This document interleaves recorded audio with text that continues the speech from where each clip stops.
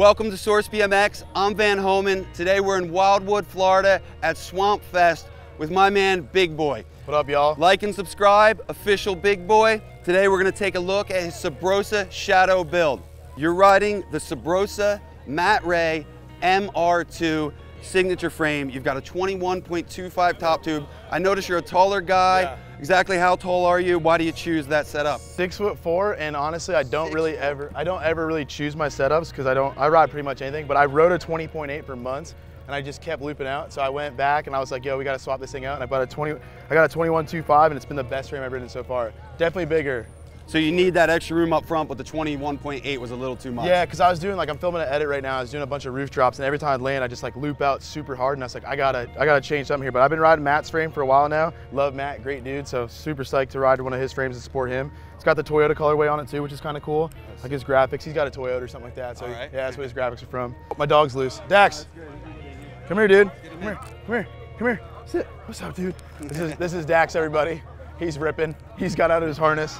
All right, I noticed something special about this frame. It has slightly longer dropout slots. That way you can go 13.3 to 13.85. It gives you more options with the gear ratios. Where do you run your wheel in the dropout and what gear ratio are you running? To be honest with you, I literally put my wheel on and I take a hammer and I jam it in the back end and I push the hammer forward and tighten down the 17s in the back and that's what I do. All right. Get it slightly centered, It looks like you're right in the middle right in the middle, yeah. right in the it. middle, yeah. Like my chain nice and tight Okay, so cranks don't spin when I do whips and stuff like that. got you. What gear ratio are you running? Uh, 28.9 right now. Okay. I was running 25 for the longest time and then I did 20, 28 and then I tried what Trey does, which like, I think it was like a 30 something and it was like too much. I, Okay. 28's like my happy medium, perfect. got you, perfect. Not too spinny, but No, not yeah. too slow. Yeah. yeah, I like a little, little bit of crank so I can still do stuff, but I run the free coaster, so it's kind of hard. But when I used to run a cassette, it made it easier to kind of crank into things if I was like kind of dropping the front end on something. Okay. But now I don't even have that advantage anymore.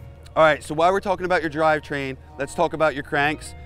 Your Subrosa Rose cranks, you've got the Simone Barcelona sprocket, and then one of the classics, the Shadow Supreme chain. Break down this drivetrain for us. How's it holding up? What's important to you about it? So ever since I was a little kid, even before I rode for Shadow Sports, I always rode like their chains because I was always told from a little kid that they were like indestructible. And the Supreme chain is probably the best chain I ever had.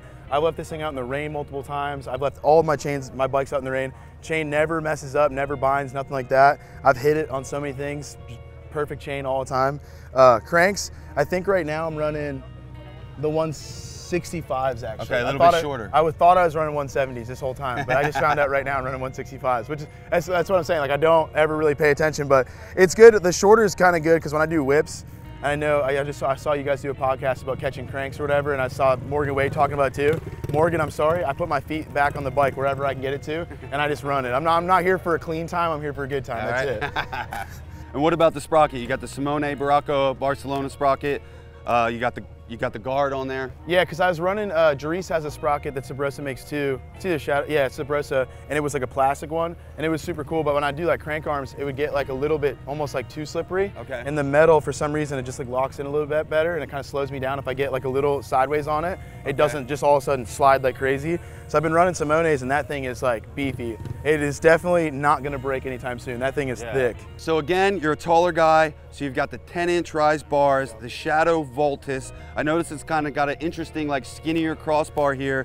Break down these bars for us. So I was riding 11s for the longest time, and to be honest with you, just the way it rode with the bike, they were almost too big. They felt good, but then I went back to the 10s, and the 10 is just like the perfect height. Okay. Um, I like the taller bars because I mean I'm a bigger dude. I mean sure you know you're taller too.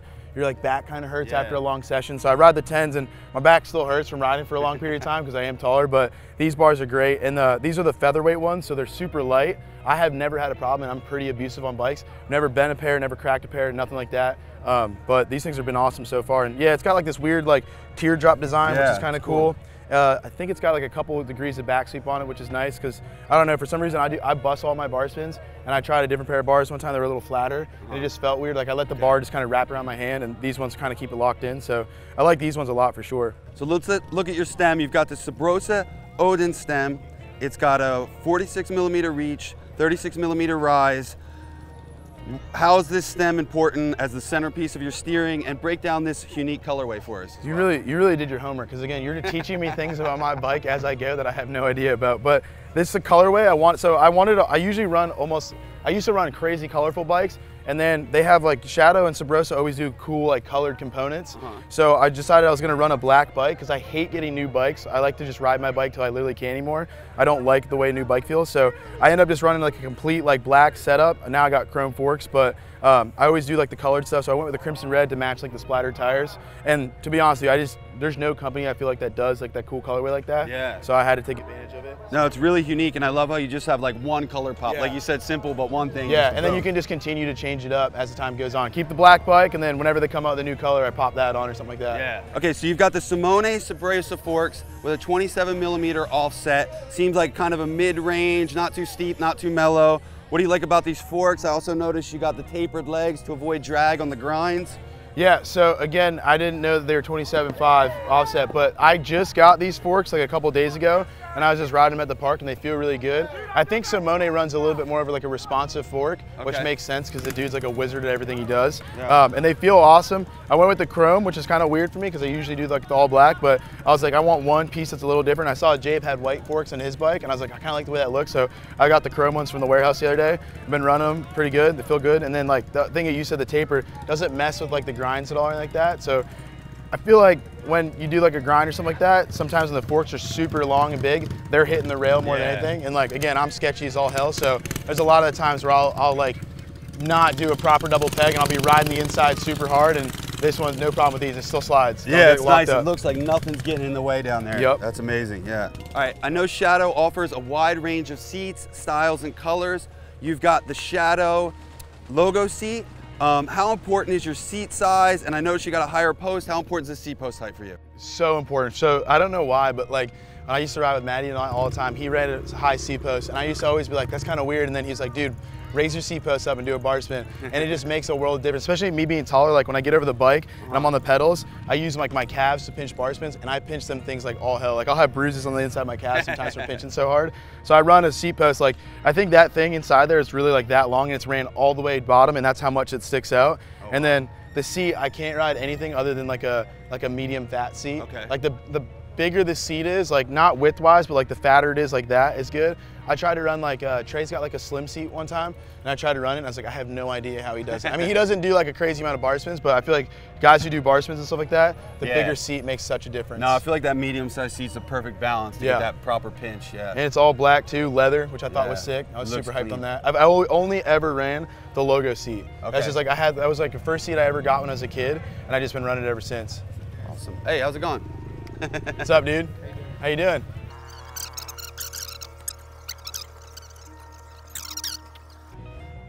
That that is Swamp Fest in a nutshell. When you can't remember if you gave someone uh, mush, I didn't even know they made mushroom gummies.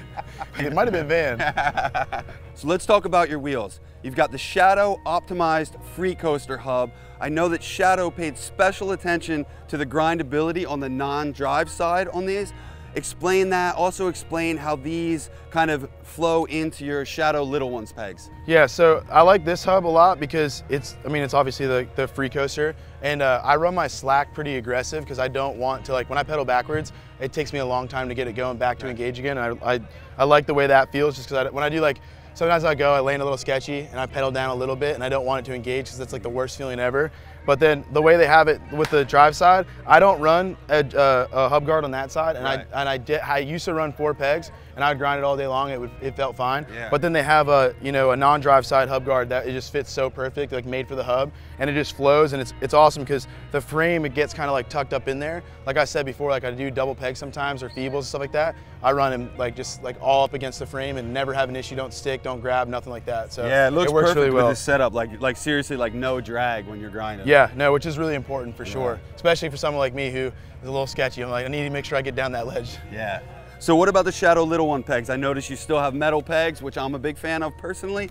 Yeah, I mean, I rode plastic pegs for the longest time, and then I, for some reason, they didn't have any plastic pegs left at the warehouse, so I put on a pair of me- metal pegs, and I just never went back. I just love the noise, and like when you're grinding like super shitty concrete, it just sounds hilarious, and you're just like, you. yeah, you can actually hear it, and it's like you do a peg shank on a quarter, you're like, oh, he just he just peg Yeah. shanked it. Where it's like you do it with the plastics, it's just silent. It's like dunk, just nothing. Uh, I got you.